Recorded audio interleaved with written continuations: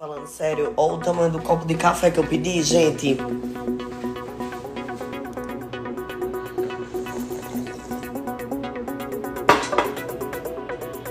Ui! Um bicho.